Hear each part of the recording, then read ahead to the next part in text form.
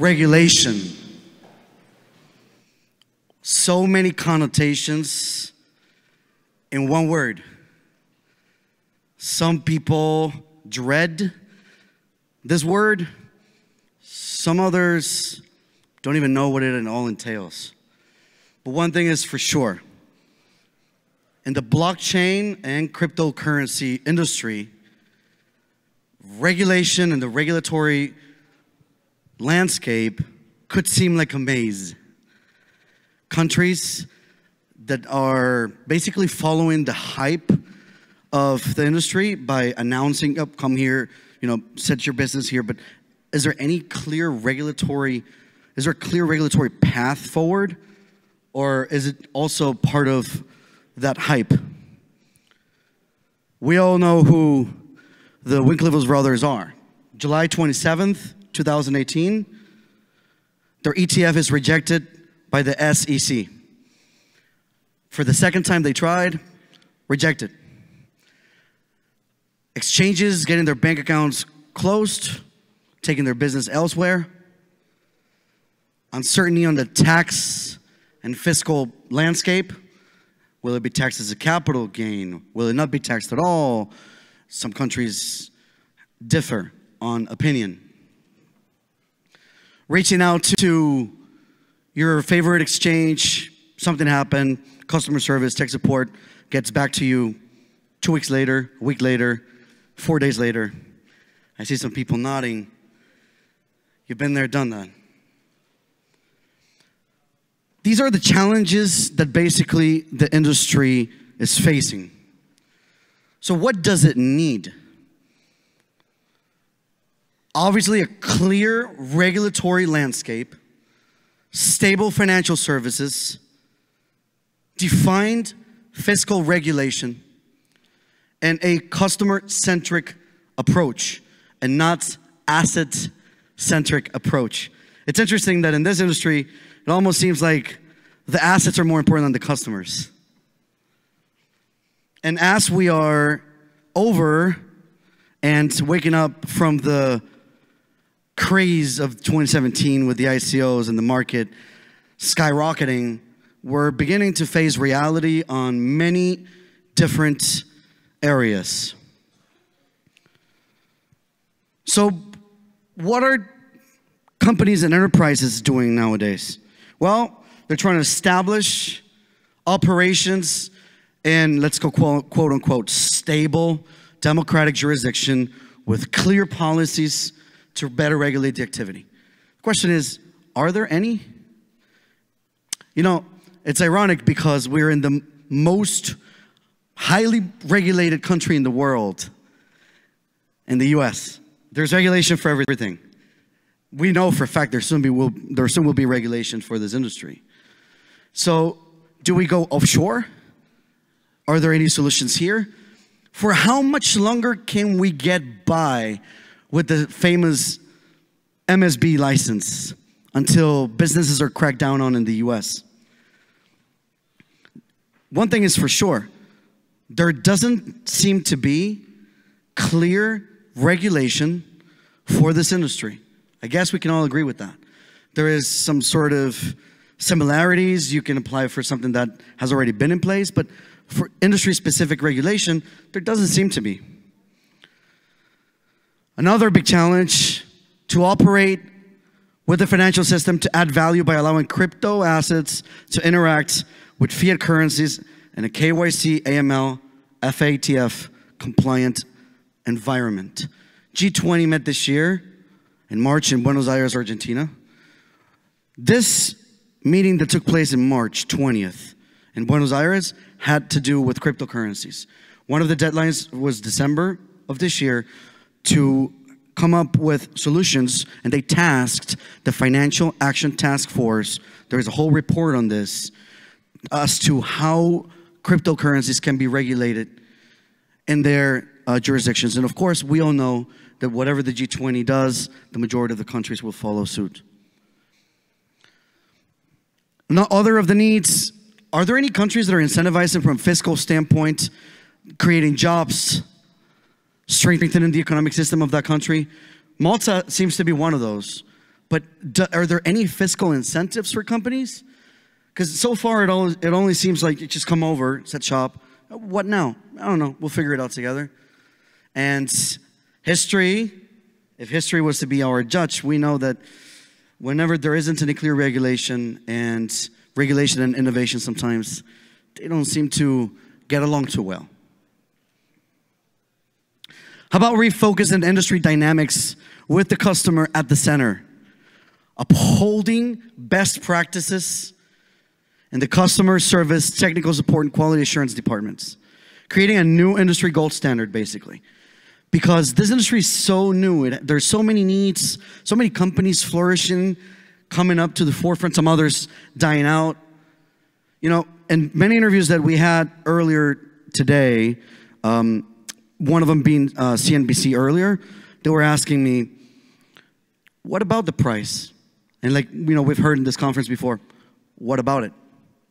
What the industry needs now is underlying real technology, proven businesses that can thrive in this industry and prove that the technology works and all of the challenges are being tackled head on. And the price will be a consequence of that. Not the other way around. The ICO craze of last year had to do precisely with that. Companies, people, you know, putting together a white paper saying, this is how we're going to revolutionize the industry. People believing in it, investing in it. Turns out, ah, it was just another great idea. Um, of course, regulators are calling that, and to some extent, I don't want to be too strong with my language, scams. Some regulators are calling that regulators cracking down on some ICOs. Is there a reason to regulate this industry?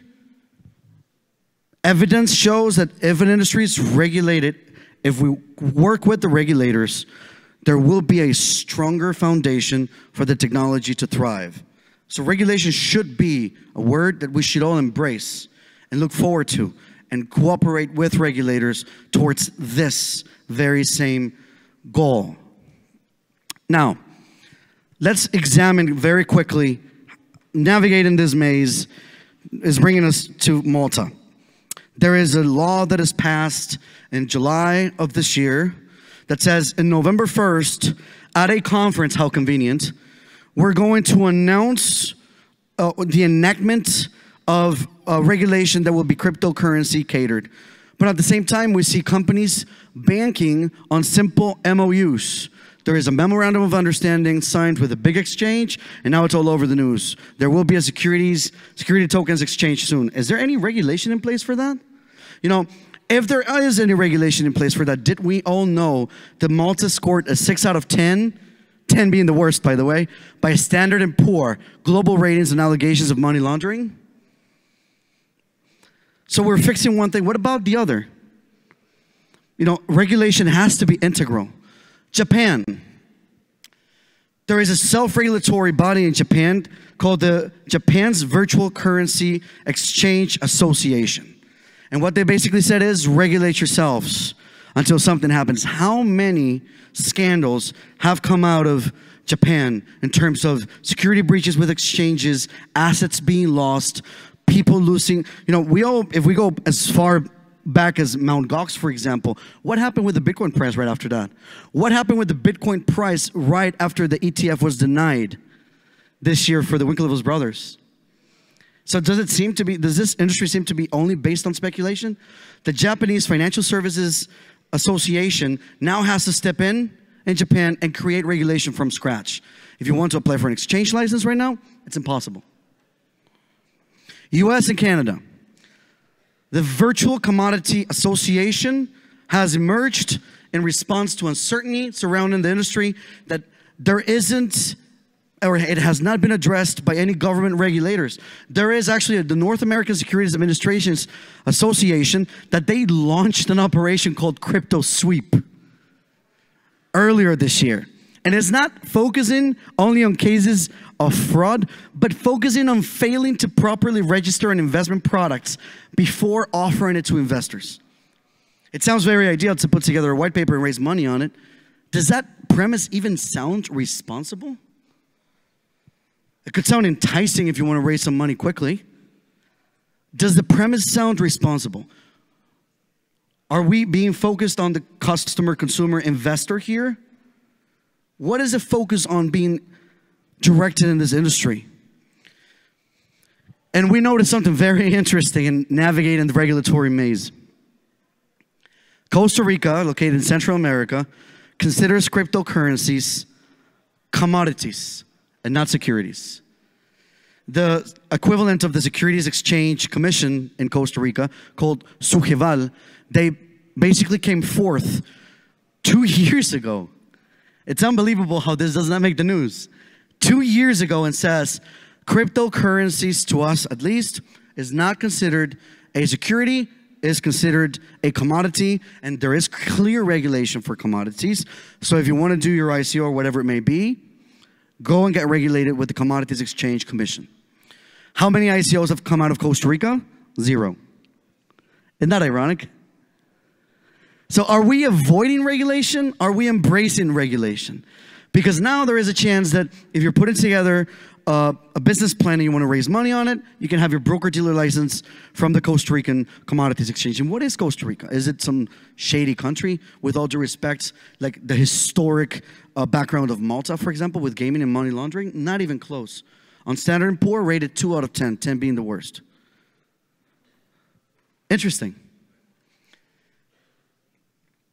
You know, our company, Tokenize-IT, basically what we have accomplished already. Not like a lot of crypto companies that they're you know all forward looking and, and we're gonna do this and we're gonna do and we're gonna do. You know, we're talking about what we've already done and accomplished. We established ourselves successfully in Costa Rica. We already have been granted a broker dealer license from the commodities exchange of the country we acquired a currency exchange license for all G10 currencies, allowing us to separate crypto and fiat. Because the main issue with the uh, financial system is when you're mixing the asset classes, and now you're going from Bitcoin to uh, uh, fiat and fiat currencies to Bitcoin in an exchange manner. There is no traceability. This is ironic. There's traceability in the transactions, but on anti-money laundering policies, and I know your client who owned that Bitcoin before you? We know from what wallet it's been, but who was the owner? And this is what scares banks. And every time you're talking about cryptocurrency, what do banks do? We all know. They close their accounts, they're de risking. But if you're able to put crypto in a silo and fiat currencies in a silo, then you're able to track all of the fiat currency transactions and from a wallet point of view, all of the different transactions that have taken place in the blockchain. We've separated the silos. We've acquired an 11 year old company in Costa Rica uh, that has a currency exchange license. And what's interesting, and this is unbelievable, it really is, but it's true. Costa Rica incentivizes technology companies and places them on an international free zone, giving you a 10 year tax exemption.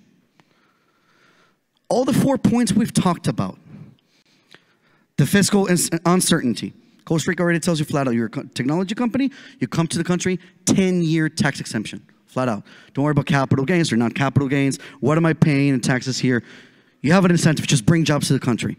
Number two, you can already obtain a broker dealer license from the commodities exchange. Number three, you can operate with existing currency exchanges to separate crypto and fiat to abide by anti money laundering regulations set forth by the G20 and the FATF already in place. This is incredible. And then on top of that, Costa Rica is extremely well known for the uh, BPO services industries. Amazon, Intel, HP, Procter & Gamble. All those companies, when you're calling all, all those companies for customer service, the person answering the phone is a Costa Rican. Costa Rica has a large, long history of services. And what Tokenize-IT now can bring forth to the industry is all of those solutions for third parties. Do you want to set shop in Costa Rica? We're going to help you do it the right way. We tokenize it. We help you uh, be regulated, have a, a broker dealer license, have a bank account, sub account with our currency exchange, set up, be set up in an international free trade zone, tax exempt for 10 years.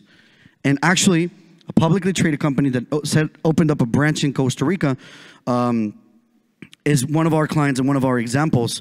Their name is Weiss Network.